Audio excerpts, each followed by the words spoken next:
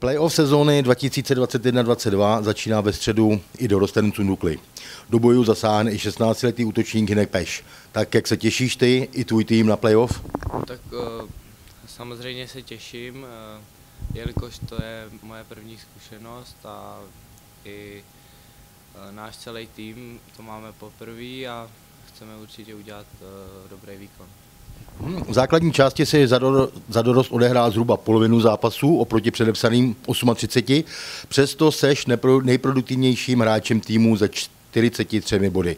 Sedla ti tedy tato sezona? Uh, tak uh, nedá se to takto říct, ale uh, samozřejmě sezona ještě pokračuje, důležit, důležitý je playoff.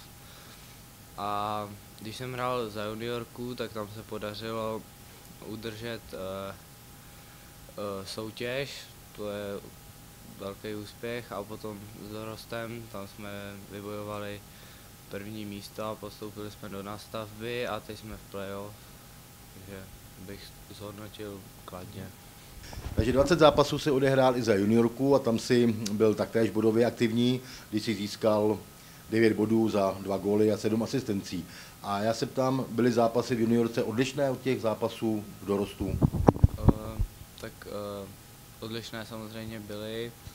Uh, v juniorce je to silovější, rychlejší a více v naší juniorce se víc brání a třeba v dorostu máme lepší ty, to pořadí a víc útočíme a hrajeme dopředu. Tak se vrátíme k dorostu. Jak probíhala tento týden příprava před playoff? Uh, nějak specificky, nějak specifická nebyla. Uh, snažili jsme se dělat ten týden jako každý jiný, a, ale samozřejmě jsme si řekli, že musíme před playoff udělat tou čáru a že to je úplně jiná soutěž. Dobře, pořadí po nastavové části vám určilo za soupeře tým Olomouce, ze kterým jste ovšem letos nehráli. Takže co od Olomouce můžete očekávat? Uh, tak uh, určitě nesmíme podcenit Olomouc. Hráli spodní, spodní tabulku a tam, tam byli první, takže jsou na vítězní vlně a nebude to vůbec těžký a musíme se na to dobře připravit. No a za jakým cílem tedy jdete do playoff?